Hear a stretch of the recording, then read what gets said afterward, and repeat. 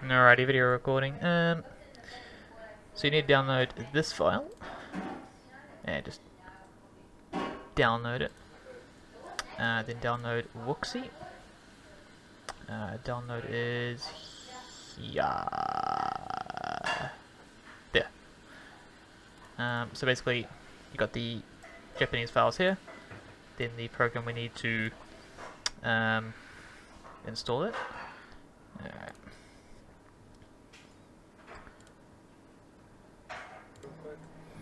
Alright, so basically you want to install Wooxy. Once that's done, you have it here.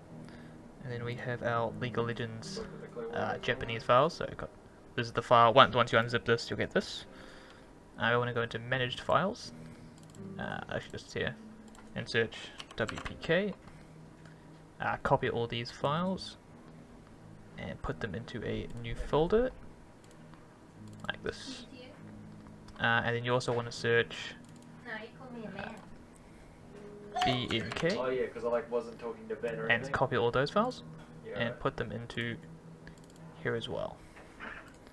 Then in Wooxy, we want to go to skins, import skin, and then add a folder.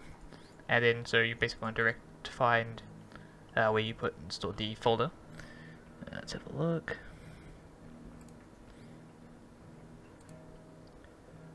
Um, games. Had to put it in the most worst spot for this video. Jet, no, jet. Right, so basically it adds all the files. And all of them are getting conflicts, but we don't have to worry about that just yet. Right, and so we want to click um, resolve, since zero files are actually added, we want to resolve the conflicts. Uh, and basically, uh, for me, since I've tried to put the um, Korean voices on, uh, I get two options. But basically you want to, you get like a conflict, so you want to click on the your directory, choose the uh, same folder and conflicts blah blah blah blah, and just choose the path. And you may need to do this for uh, a lot of things.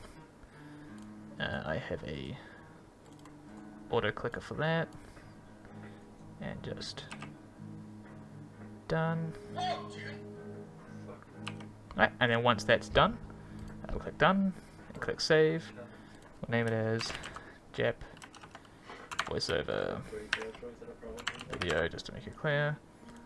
Uh, I don't know if this makes a matter matters, but sound mod, character sounds, save skin, and then will save the skin.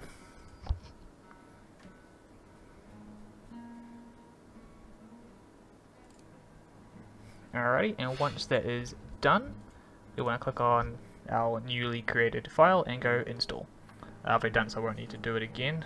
Um, but that's pretty much all you need to do, and then it should work.